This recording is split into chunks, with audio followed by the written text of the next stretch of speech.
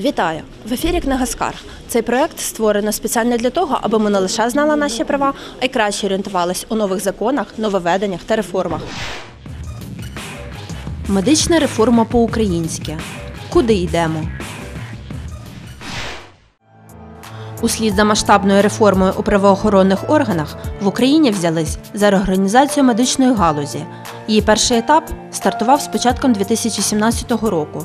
І хоча тему медичної реформи висвітлювали у більшості українських засобів масової інформації, люди погано розуміють, чого ж від неї очікувати.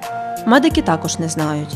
Хмельничани скаржаться, що в поліклініках та амбулаторіях обласного центру відбуваються незрозумілі для них процеси реорганізації, оптимізація, ротація. Люди бідкаються, що ніхто нічого їм не може роз'яснити, адже медики й самі погано уявляють, яких конкретно змін чекати. Тому пояснення у них для пацієнтів коротке реформа. В кабінеті мені сказали, що одну зміну скорочують уже. Я з понеділка йду на роботу. Як там після роботи я не попаду, бо одна зміна. І дівчат скорочують, куди вони підуть, ці молоді медсестри на роботу. От що мене цікавить. Я прожив життя, мені зараз треба лікуватися. Я би хотів би одержати медицину, е, ну таку хай платну. Так як я працюючий пенсіонер, ну, достойну медицину, а їх зараз скоротять. І де я буду на гречка проходити ці процедури. Я би хотів заяву написати, напевно, щоб назад вернутися в першу поліклініку, бо звідти нас будуть відправляти в четверту поліклініку. А я живу на Івана Франка, мені ближче сюди. Відправляють звідси, бо якесь реформування поліклініки. Цікавимось у реєстратурі Хмельницької міської поліклініки номер 1 Що змінилось з нового року для пацієнтів? Поки ще нічого не змінилось, бо ми ще самі нічого не знаємо, що у нас тут буде. Запитують, але ми самі не знаємо, що буде ще з нами. Ми вирішили запитати у відвідувачів Хмельницької міської поліклініки номер 1 що вони думають про медичну реформу. Дуже мені подобається реформа, але не для всіх. Чому? Ну, тому що от я прийшов, мене послали на рентген, бачите? А мені кажуть, «Е, вибачайте, в нас немає плівочки, а я забув там в машині кошельок, не хочу йти. Мене послали сюди вже на флюорографію. Як реформа вам подобається? Ця от реформа буде на краще ось. Я не впевнена. Бо вони ще самі точно не знають. Бачите, одних переводять туди з гречан, з поліклініки перевели сюди медсестер. А лікарі вони поки не чіпають. Я вчора була в гречанах і в дитячій лікарні, і е, в дорослій там вони поки не чіпають. А ці сімейні амбулаторії по два лікарі, я не знаю. Як воно має бути. Сподіваємось, будемо сподіватися на краще. Чула, що відбувається е, реформування, але я не вникала, не можу вам сказати. От очі, подивіться, які. То що це реформа? Ну зараз має бути оптимізація. М, Яка там оптимізація? Вірите, що щось стане на краще? Ні, не вірю. Мені кажеться, лучше нічого не. Лікарі неохоче говорять про медичну реформу. Більшість відправляє нас за коментарями до очільників управління та департаменту охорони здоров'я. Ті, хто погоджуються на спілкування перед телекамерою, стримані у висловлюваннях. Поживемо, побачимо. На початку реформи не можна говорити про її вже кінцевий результат. Зміни потрібні, про це говорять і медпрацівники, і пацієнти. Побачимо. Нам треба рухатись вперед, нам реформи потрібні, а то, що йде скорочення, штати роздуті теж не мають бути. Треба, щоб була і нагрузка на лікаря, на медсестру. Тобто ви Ну, щоб не страждали люди, це головне. Ну, як ви вдома захочете робити ремонт, що ви почнете? закупки матеріалів. А за що ви будете закупляти матеріал? За... Бачите, логічно, воно логічно само собою. Дай Боже, щоб вийшло, ну я ж. Поживемо, побачимо. У фізвідділенні Хмельницької міської поліклініки номер 1 негативне ставлення до реформи. У нас негатив один. А чому от що Ну, скорочують всіх. вас скорочує, да? Да. Попали під скорочення? Да, багато дуже людей. А більше старшого віку чи от Вся, і молодих, і, і, і, і старшого. а за яким принципом ось? Ну, написали, що скорочення посад, А яка ваша була посада? медсестри фізіотерапії. І вас поскорочували, так? У нас відділення, і в основному приходять люди старшого віку. От, вони не мають грошей, щоб купити ліки дуже дорогі, а фізпроцедури безкоштовно. Вони приходять і одержують у нас допомогу. І сьогодні 9 чоловік у нас скорочують. Медсестер Медсестер, у нас медсестри в основному. Ну не знаю, чи це вірно. Але ми без роботи. Ми хотіли б ще працювати. Ми по 40 років стажу маємо. Да, і ніхто нам поки що нічого. категорії має. Так, так, так. Вищу категорію нас скорочують. Хіба це правильно? Ну, от бачите, ми не задоволені також. А взагалі, а от на вашу думку, якщо все ж таки не брати скорочення, чи це от буде для от на краще людей, що от скорочується медичний персонал? Не Ось думаю, що це буде на краще. Не думаю. Нічого тут поки ми не бачимо, що це за нова реформа.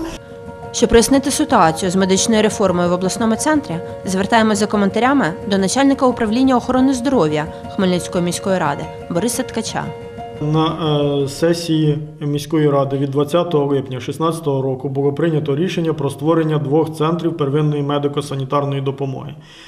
Е, Ці центри це є таким е, об'єднанням амбулаторій загальної практики сімейної медицини, які в подальшому ці амбулаторії будуть розміщені в різних мікрорайонах міста і обслуговувати населення в максимальному наближенні до їхнього місця проживання. Зараз е, з 3 січня е, в нас почалося е, назвемо це реорганізацію, тобто створення заповнення штатів оцих центрів, цих амбулаторій.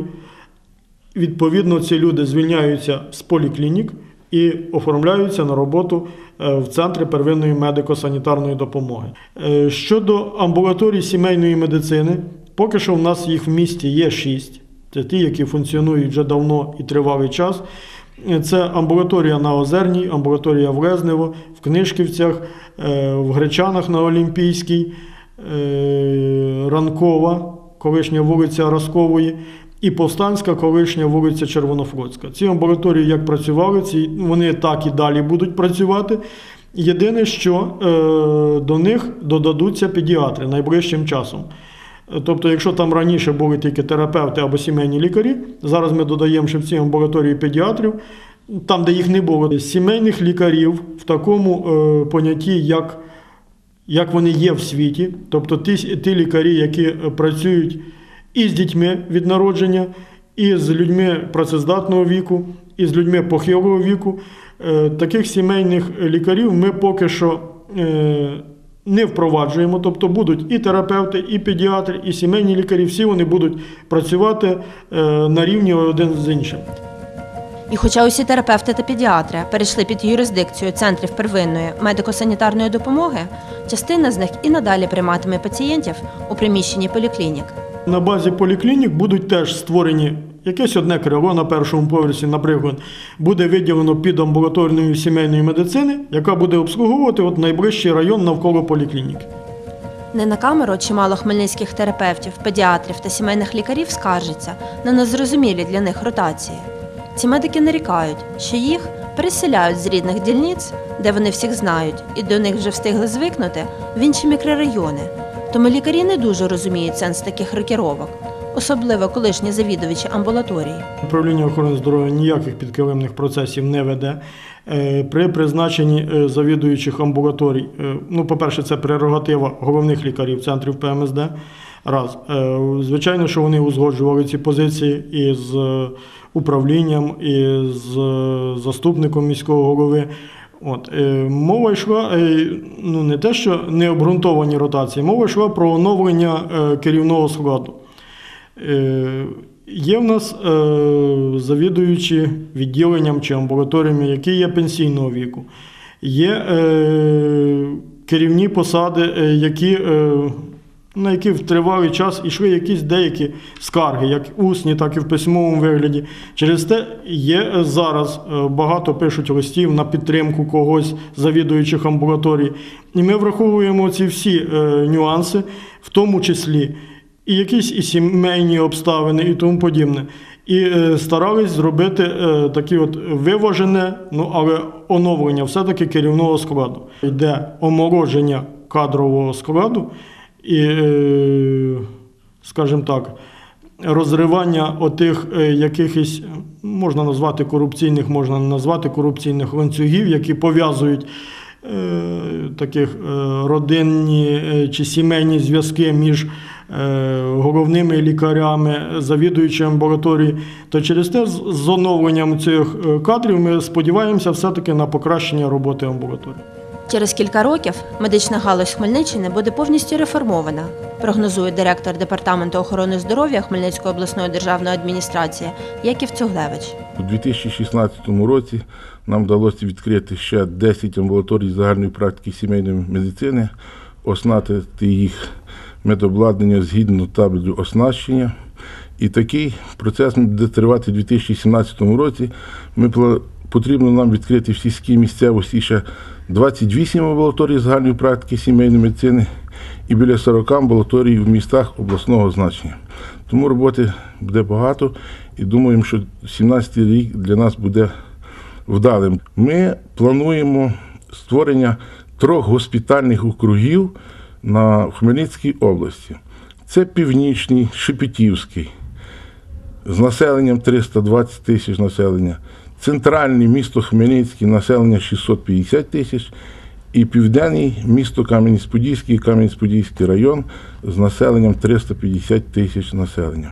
В цих госпітальних округах будуть лікарні невідкладної допомоги, де буде гарантовано чи любому хворому, бідному чи багатому надаватися безкоштовно, безкоштовно, ще заявляю, невідкладна допомога. Будуть відкриті відділення невідкладної допомоги в лікарнях інтенсивного лікування, це в центральних районних лікарнях. Тут теж держава гарантує безкоштовне лікування. Як хворому прийдеться попадати на другий рівень, дійсно, хворий повинен звернутися за направленням для скерування до свого сімейного лікаря чи до терапевта, який направить його на другий рівень, чи до вузького спеціаліста, чи то до хірурга, ендокринолога, терапевта і так далі. І це скерування буде. Але хворий, який, якому часто треба звернутися на другий рівень, того скерування не потрібно. Він завжди може прийти е, на консультацію, лікування, перев'язки, отримання інформації самостійно також на другий рівень. Щодо третього рівня, це е, обласні заклади, то хворі повинні скеруватися або сімейним лікарем, або районними спеціалістами, так як воно було до сьогоднішнього дня. А на сьогодні все. З вами була книга Скарг та її автор і ведуча Наталя Сідова. Бережіть себе.